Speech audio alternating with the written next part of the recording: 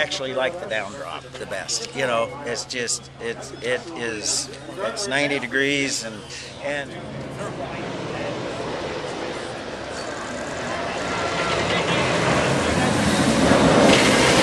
uh, a a lot of it I like going back through the structure because uh, throughout the design Alan uh, he, he put a lot of the track right back through the structure so I really like that it, it makes you feel like you're the structure it's not going to make it through there but it actually it actually works.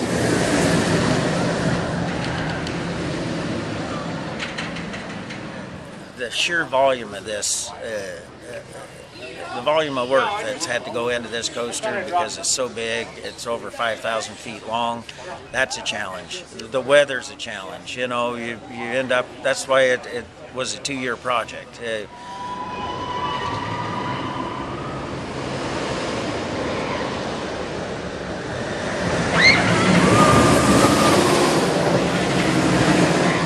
it, it's just to have people come off of it smiling, laughing, and, and telling you how great a ride it is. That's it's all worth it.